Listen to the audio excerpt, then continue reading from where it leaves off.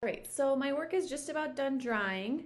So now I have my, oops, abstract version with paper collage and my little bit more realistic version with the paint.